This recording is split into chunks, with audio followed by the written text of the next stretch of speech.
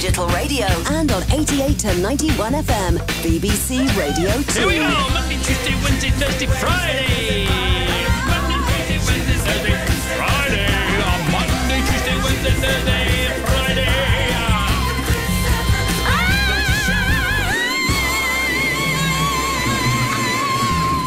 Sheryl, not now. Sorry. Later. How do you like your eggs in the morning?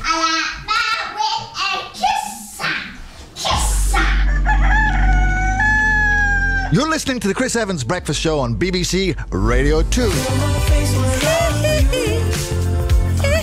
We are ready to chat. We've got another little ditty to play first. And you stopped singing over the music just because you're Sheryl Crow, all right? Now you think you think these sound like Michael Jackson? I think you? he sounds so much like him. And you should know because you toured with Michael. Indeed, I did. You duetted on many occasions. with Michael on many occasions. Okay, well I She says I'm the one. I met Bobby Dabbler. Good morning to Barry in his potting shed. Days. Sheryl, are you aware of the phenomenon of the potting shed?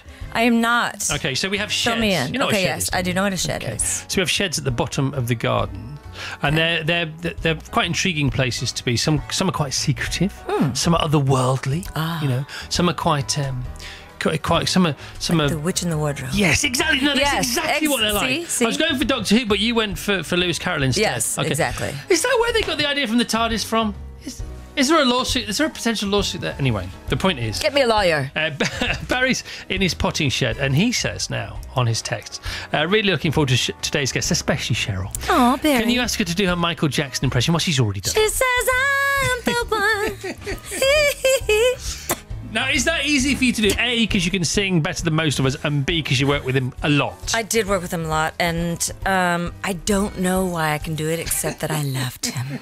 I See, loved he- him. There, I said it. He's our family's favourite. Honestly, we Yes. all love Michael Jackson. I, I, I like him more and more every year.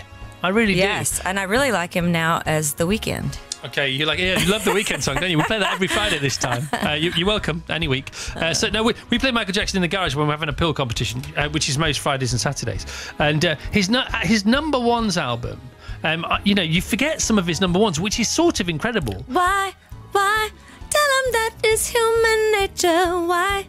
Why? Yeah, this is fine by me. me that way? This is the Sheryl Crow Jackson Jukebox live here on BBC ah. Radio 2. Do your kids know who he is? They- love him. See, I'm having to educate my children. Yeah, well, you need to educate them more They're if like, they don't know Michael Mom, Jackson. your hair looks so. Why'd you have your hair like that? You look so ugly. Yeah, well, but Mum used to duet with Michael Jackson. Now, Yeah. this was before your infamous um, Never to Be Released first album. Indeed. yes, which can be bought on eBay for like 150 quid or They're, something like they're my two favourite facts about you. One is that you toured extensively with Michael Jackson, first as a backing vocalist, and then you ended up singing duets with him on a regular basis front of stage. Tell us, just tell us. Yes. I know you've told us Um, before, but I just can't stop loving you. like every night with Jacko. Every night. In front of like 65,000 screaming, crying, fainting fans. I met him a couple of times, worked with him once, uh, nowhere near to the extent you did. And what I found was that he was nothing at all like people thought. He was so diligent. He, I, I, basically, I worked with him in rehearsal for one of the Brit shows, and um, he was in charge of choreographing this particular number because lots of people who know him say that he was a great singer and an amazing musician, but he was actually a better dancer. He was the best dancer in the world. What do you think about He that? was, I was in the room at the Grammys in New York City when it was at the, what, Chandler, Dorothy? I can't remember. Anyway, when he busted into the, to the moon, uh, moonwalk wearing the sequin jacket, no one had ever seen it. And you would have thought a lightning bolt went through the room. It was the weirdest, most exciting thing I've ever seen in my life. Yeah. Seriously. To see somebody do something that nobody has ever, I mean, even thought of. Yeah, I know. That looked like it was defying gravity. He was just, he was brilliant. He was absolutely brilliant. And to see him live with the combination of the, you know his his writing talent, his vocal talent, the aura, his presence, and then the dancing and the stage show, it was the best thing you could ever see on the Mm-hmm. It planet. was. I was so lucky. And yeah, and yeah, you saw it from the I was a stage. school teacher like six months before. Chris, slap me. Tell us about your last day at school before that happened. Um, well, I was singing jingles. Yeah. I did a McDonald's spot, Mm-hmm. and I thought, well, I'm going to move to LA. So I gave my notice, and I went home, and I told my parents, I want to move to LA. Yep. That was a Tuesday, and they said, what? When? I said, I'm leaving Sunday. and I drove out there and didn't know anybody. And that, yeah, and I crashed that audition about six months later. and Okay, now Yeah. what do you have to thank most for your success? Is it the favorite, your favorite guitar that you write all your big songs on, and that seems to have some kind of magic in it? You're almost like co-writers uh, in in a way, or is it um, down to your dad and his trumpet, or your mum and a piano? Um, wow, that's hard. I give. I think it's just that I won't go away. Right. It's just that you know I just don't. I. It's like you can you can tell me no, and that is a dare. But there was But yeah, but my parents, wasn't my there? parents, absolutely, they played music all the time. I mean, they not, they not only played it on the Magnavox, but they played it like they they came home with their friends after gigs and listened to music and danced and played along. So is this and, gigs you they were watching or gigs they were playing No, at? they played. They Did they played in like a little swing band, see? and I know. And we would lay on the stairs on the other side of the wall, Hmm. And they'd be like, "Go to bed," but we'd still we'd bring our pillows down and lay on the stairs so we could watch them and hear them. So it's always around you, this music thing. Yeah, That's where the magic comes from. yeah. And did it rub off on your siblings? Yeah. Oh, yeah, yeah. In fact, all, there are three of us girls. We all got our degrees in classical piano. And uh, my oldest sister moved to Nashville and wrote some songs, and then she got into the music business, business part of it. My other sister um, is still teaching, and um, yeah, and my little brother is very musical, but he didn't go that route. All right, okay. Well, this new album's out now. Uh, what's the matter? What's that Was I putting you to sleep? No. and then I not wrote. at all. No, I lo- you're, you're st- I could talk to you all day because every time I read an interview with you or I, I watch one or listen to one, I think there's so much good. because you've got a proper story and also you just naturally you got a float. Look, you come in here, you sit down, and we're having a conversation, and it's flowing, and it's just for me. I know that the listeners are going to enjoy it because it just flows. you know. Plus, Or- I've known you for like 900 years. I know it's incredible. Yes. Uh, and now, am I am, am I in your life? Am I BR or AR? BR or AR? What does Yeah. that mean? Am I before ranch or after ranch? Oh, oh, way before ranch. Am I ranch. before ranch? Oh, way before. You're one of the reasons I have, ranch. okay, all right. Uh, right, Sheryl's going to play for us live after half eight, if we can stop talking, which may not happen, so we'll see. Uh, 8.17. Uh, the brand new Sheryl Crow album is out now, Sheryl Crow, Be Myself. She's playing in London tonight. You're playing in Manchester as well? Tit, I am at the Albert. All right, okay. Now, I thought they got that wrong because there is an Albert Hall in. I know there's an Albert Square in Manchester, but is there also an Albert Hall? I should know this. There's an Albert Hall here in London. I'm not sure. Is there an Albert Hall in? I don't know. Well, anyway, you're playing somewhere in I'm playing somewhere in Manchester. You play anywhere. You don't care, do you? I don't care. Train station's nice. Parking lot. With us now, Sheryl Crow. Sheryl's new album, Sheryl Crow, Be Myself, out now, and it is a Crow classic. All right, so um, how come you get back to these songs? How come you come up with these songs? You've lived a life, and you're sort of going back to your roots with these, aren't you? They're, go- they're all gorgeous. I've run out of things to do. no. Um, yeah, no, I just, I made the record exactly the way I made the second, third, and fourth records. Yep. My which, buddy. Is, which is how? Which is how? which is three people in the room, Yep. a drum programmer, uh, Jeff Trott on guitar, and me on bass. Mm-hmm. Wrote and recorded as we went, and it was just. And you know what else is crazy? You can relate to this. Took my kids to school in the morning, Yep. went to the studio, Mm-hmm. picked them up from school, It's great, isn't it? and ate dinner, and I was done. I mean, Yeah. every day in school hours. That is rock and roll, people. I I'm know. telling you, It can be done, can't it? it can be done. it is survivable. and be, and you can still be creative and inspired. Because when you first start, you think you can't do that because it won't work. I but can it absolutely only be does work. brilliant between 2 a.m. and 7:30 in the morning, and I have to be slightly inebriated. Off my box. Exactly. Um, it, it's so funny to hear these songs again. They're, they're all so lovely. So this guitar, um, this guitar, you say this is the guitar that comes up with all the right goods. So tell us about this special, special guitar that you've almost always used. Well, we lovingly refer to it as the little moneymaker. right. Actually, that's not even true. You know, I do play that. That guitar has been on every song that has ever made me any money, but I write mostly on bass. Right. I mean, so believe it or not. So I have a bass. I have an M85. It's 1974, I believe. Guild, and this whole record I, I wrote on bass, except Okay. for one song. okay. And you're very happy with this song, aren't you? Very, So very. I'm very pleased with myself. Should be the title, title of your next album. Exactly. Please myself and I don't pat yourself on the back now. I like myself. No, so I'm kidding. no, it's but it's, that's the thing. You've come out the other side. That's what life's about, isn't it? You It know, is. it's a learning curve. Um, you don't know anything, and then you start to know some things. Then you think you know everything. Then you don't know what anything means, and then you realise that none of it means anything, and just enjoy it while I you can. I love my age. so do I. I do. I love it. I'm so happy. You're I'm 40. no, I'm kidding. I'm 55. Are you, no, I Yes. you are not 55. Isn't it crazy? Get out of here. I no, look. No, so hot on radio. 55. yes. Blimey, oh, righty, well, there you are. So, method stays the same. Did the, the room that you talked about? Yes. Please tell me this is at the new ranch. It's uh, it's in uh, my studio is right above uh, the horse stalls. Oh, see? See how I do? Oh, Who lives like us? Me. I love the fact that you've built, you know, you've earned it, you've worked really hard, you've earned it if you could, and you thought, right, this is what I've always wanted, I'm going to go and get it. Just tell us a, a little bit about your ranch, please. Okay, so um, we moved there five years ago. I used to live way out in the country. I have two little boys, seven and ten. Strange names, but there you go. Good one. Yes, my um, seven and ten, they're very happy. No, we moved into town because I was always in the car. We were always in the car going to karate or wherever. It was like 45 minutes. So we moved into town and we brought our horses and our longhorn cows and all of our, we brought the bearded gecko, the fish, the guinea pigs, the all of it, you know.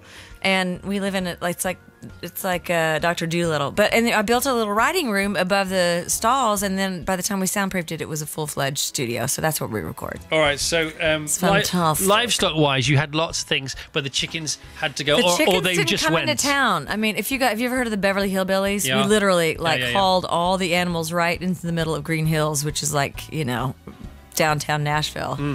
So. But so you're saying we this. left the chickens behind. you're, you're confusing everyone because here's me saying describe your ranch and you saying well we moved into town and we built a ranch because of course your towns are different to our towns you couldn't Nashville couldn't fit a ranch is like in, a sprawling. Right. It's it's weird. It's a sprawling town. Like the guy across the street has 200 acres, but yet we're five minutes from the mall. Isn't that weird? so weird Yes. so you're here you're back now you're playing tonight are you still any good live Am I still what? any good Oh, I'm f- I'm f- better than ever. right now tell us about Actually, you know, I will tell you, I I am enjoying playing more than I ever in my whole life. Good Isn't that so weird? yeah, yeah. I feel so. Ugh, I feel so present you feel so yes, present that's the thing and energized You can see it in and your eyes. I love it. Good for you. Yeah. Now, tell everyone about the issue your guitarist is going to have being in the same room as Brian May, because there's going to be a problem. I don't here. know if he's actually going to be able to sustain. gonna be a um, problem. Yeah, I, I think can- he might pass out. I can play A, C, and G if it's any help. He's going to be like a goat who just passes out. What's going on Yeah. with your guitarist and Brian May? Well, when they walk in, my guitarist is mini me of Brian May. And he can play. He can sound exactly like him, and um, we worship Brian May. I can see him in the hallways right there, and we worship him. I'm just gonna say it right here, okay? All right, so we, we, I love you. There, I've said it. okay. Now we know that, that your guitarist obviously idolizes. Would that be fair to say? Idolizes, idolize worships it. Brian. Yes, Do- absolutely. we- do- are we going to have to keep him? As we all do. Are we gonna- I will say, but I don't try to. I don't try to emulate him. Yes. Okay, but but your your sort of respect, your love for Brian May isn't dangerous. Whereas I suspect No, your it's guitarist, not sycophantic. your guitarist might he be. shouldn't worry about my stalking stalking him, but my guitar player We might- maybe a little. okay, there all right. might Well, be a gonna have restraining order. A situation we have to keep our eye on. Yes, Okay, exactly. Brian May. Security. on your digital radio. Queen and Fat Bottom Girls joining us now on the show with Sheryl Crow. We've had Crow business. Talking about Crow classics. I know, I know. Okay, She's 3D joined. book. I know, I know. She's And joined. can we talk about Queen Monopoly? You've not made it until you have your own Monopoly game. I just have to set out the store so people know what we're talking about. But after that, fill your boots. Okay, so Brian May is with us, and Brian's got various things going on, as he always does. Uh, because um, I've got to tell you, he betrays his years. He is. Um, it's amazing. He's uh, 69, Dude, you amazing. 69 years of Oh, age. okay, And, yeah. and talk, about, talk about hard work keeping you young. I mean, it's rock and roll hard work. You know, we're not fighting wars or saving lives here. But nevertheless, he never stops grafting. He never stops being excited about life. And he's got this Look at bra- brand new 3D uh, photography book out. And he's brought in Queen Monopoly for us as well. Thank you, Brian. this is amazing, though. The goodies 3D. for you, this is Chris. amazing. I've never seen it. I'm just showing Sheryl the, the Queen in 3D book. Okay. Wow. Now we're, gonna talk, now we're going to talk about this extensively when we come back after the news. Sheryl, by the way, you've got to get ready to play. You're on in 90 seconds. Okay. Because I have, can't to wait. pri- I have to prize you now away I'm from Brian. nervous. I Brian May is right I would- here. I would have played if I'd known. You see. Uh, Would you? Yeah, of course I would. Play with her. Are you kidding? Are you Oh kidding? Of my course I would play with gosh. Sheryl. Yeah. Way to drop the ball, Chris. Well, hang on a minute. We need to fire some a band member. Who do we fire? Who, who's, Well, it's funny you should don't say wanna mess that. up your- believe me, you don't want to mess up your songs. Flip a coin. No. I'll use this as a learning. Oh, curve. my okay. God. Next All right. Uh, Brian May is with us. We're going to talk about everything he's up to in a moment or two. Sheryl's on fire, as you can hear. Liam Payne's still going to come in. Uh, Amber Riley's coming in. And Lynn's here with the travel. And I'm feeling very bad. And now, ladies and gentlemen, live from Studio 6C, Sheryl Crow and her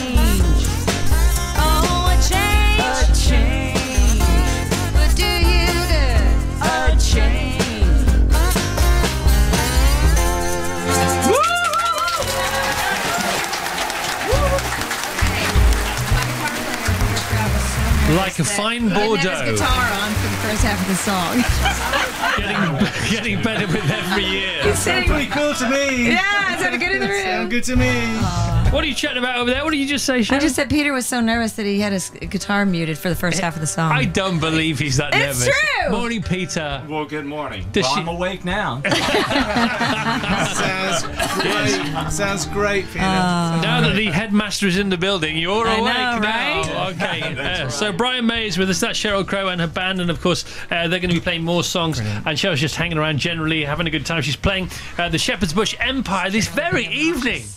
Now I've got stuff to do, but I want to cancel it all and go there. and Yes, also, come. but I'd Come love to, on. love to come, love to come. Uh, good, Ma- clean family entertainment. Sheryl Crow is here. What are you going to play next for us? Oh, I Sheryl? am not following up. I'm sorry. I'm getting ready to go in the other room. Sorry, and you have a cup of coffee, Sorry call about some this. friends, maybe. You have to. What are you going to play? We're gonna play this single off my record um, called "Be Myself," but right now I kind of would rather be Amber. oh no way! No, no. Um, is it time? Yeah, it's oh my time. god! Okay, here we go. All right. Yes. One, two, three.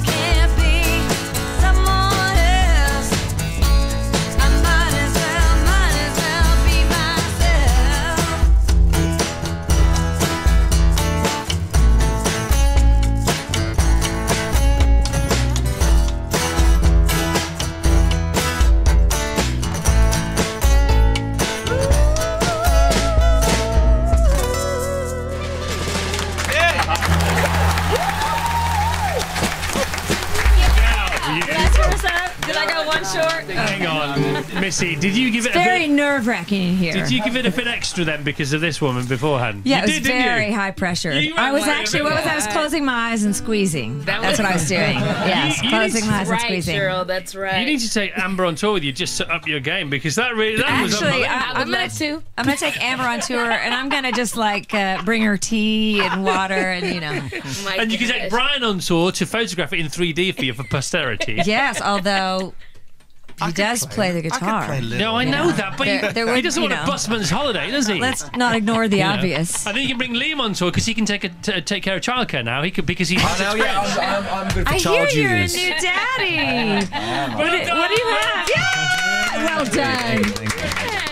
No, it's all his work, nothing to do Oh with his yes, I missus. know. Yes, Look, exactly. w- us blokes, we never get the credit we deserve for childbirth. Come on, you must know that by I now. know. I know. Okay, well done, Liam. How old is the wee one now? He is eight weeks and two days. And you, Oh. don't, and you don't look that tired. Yeah, baby. That is That a was hit. excellent. Thank you, thank you, thank that you was very so much. much better than I thought it was going to be. Thank you.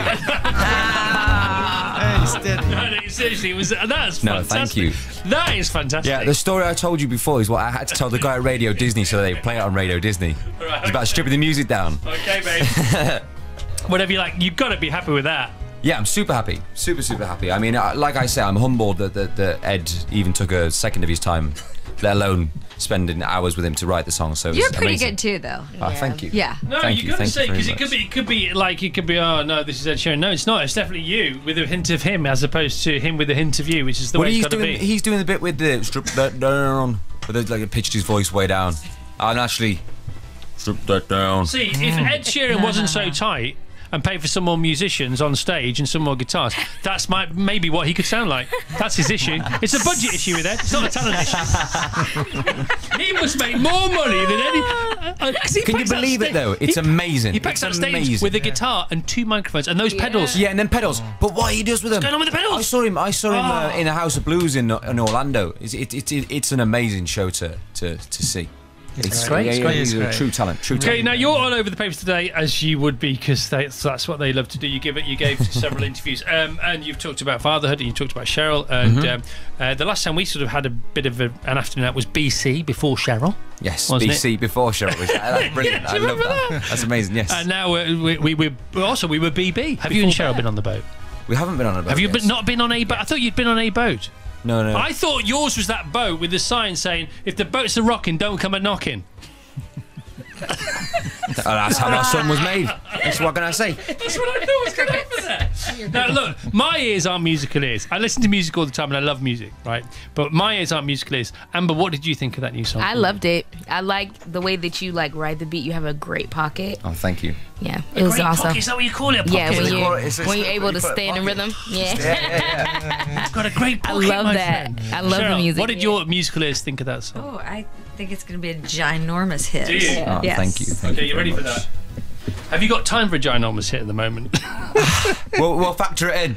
We'll have to factor it in. With fatherhood. No, I gotta. I've got to say, my, my missus couldn't be any more supportive for what I'm doing right now. I mean, obviously she's been through it and done it herself. So I mean, it, she's just loving watching. I just keep. I mean, to keep pick up the phone to make sure I text back. I was asked to be a judge on the show that she was the result of. Really? I was, I was asked to be one of the original judges on that show, yeah. And uh, I, I nearly did it. And um, they said, "What would you call the band?" And I said, "Because you're going to be in charge of the girl band if you do this job." I said, "I'm going to call the band UK Girls." So she was nearly in UK Girls. she was nearly in UK girls. My my my. Girls that is probably better. Right, Brian, what did you think of Liam's new song? It's great. I think your voice is brilliant. Oh, yeah, thank there's a you. Thanks very fantastic timbre to it. Apart from being in the pocket, man. you are in the pocket. in That's the the new phrase. I just found that out. It's the I'm, I'm trying takeaway to pretend, phrase. you know, like, Yeah. I'm cool. Can we put that in the chatosphere, please? Okay, hashtag. man. ha- In what, what- the what's the pocket. phrase? Hashtag. In the pocket. Oh, in the pocket. You're in the pocket, baby.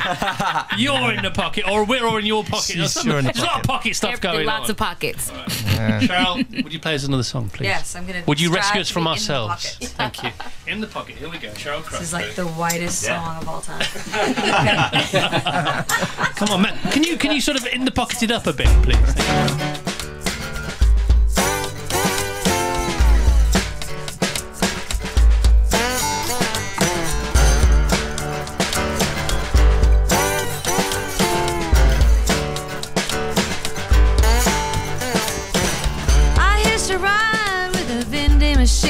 Machine repairman.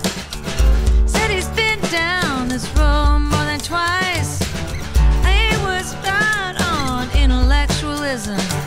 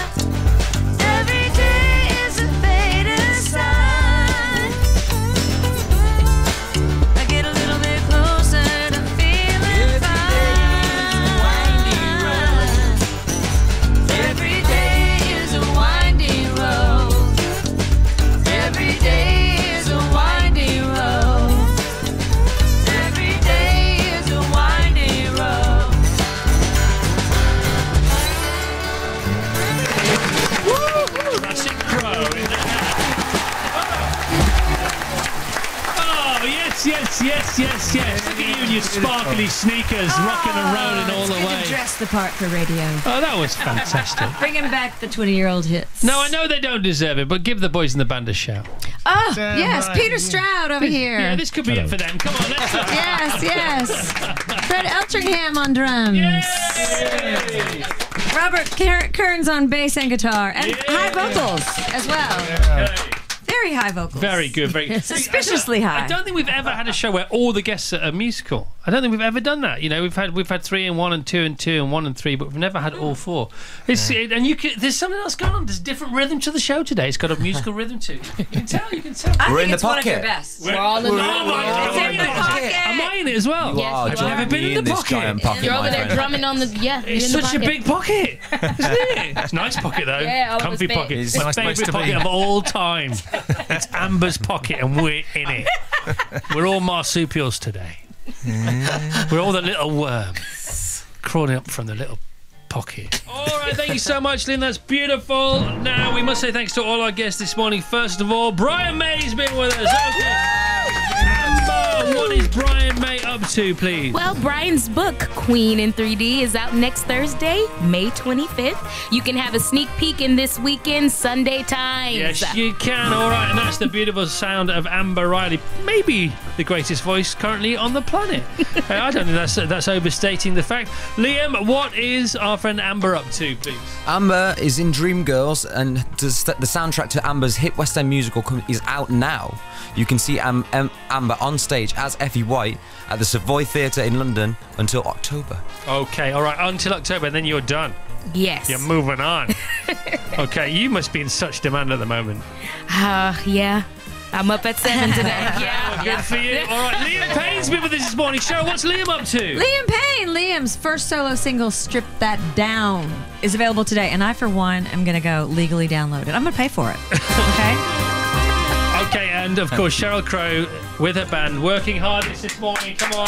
Yeah, Brian, what's Sheryl up to? Yeah, Sheryl's ninth album, Be Myself, is out now. Sheryl plays London's Shepherd's Bush Empire tonight and Manchester's Albert Hall tomorrow. And Indeed. I'm going to try and get there. Thank you for being here today, Sheryl. Oh, my goodness, You my really pleasure. set the mood for the party, and it's been glorious. So thank oh, you so much. Chris, good to see you. Good to see you. hang with you. Good to be with your Yeah. friends. You have See- fantastic friends here. I'll see you in another 20 years. Yes, 20 All years. what are you going out with? Uh, we're going to do a cover. We're going to do a cover of uh, one of my favorite bands of all time, um, Fleetwood Mac. Let's do it. Oh, go on Oh my then. God. Loving you isn't the right thing to do.